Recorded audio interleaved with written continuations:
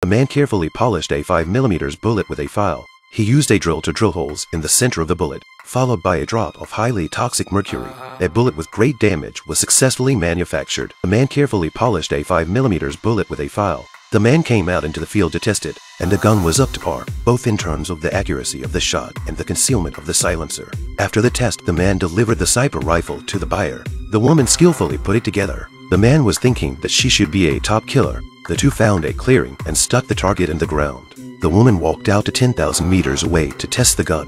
The first shot was off target because of accuracy issues, so it resulted in an off-target shot. The woman adjusted her sights and began a second shot, this time also hitting the bullseye perfectly. The woman was ready to test the silencing effect, and she asked the man to come to a distance and shoot at her side. After the woman's bold test, he was very happy with the gun. The woman took the sniper rifle to a rooftop and took aim at the target of her mission.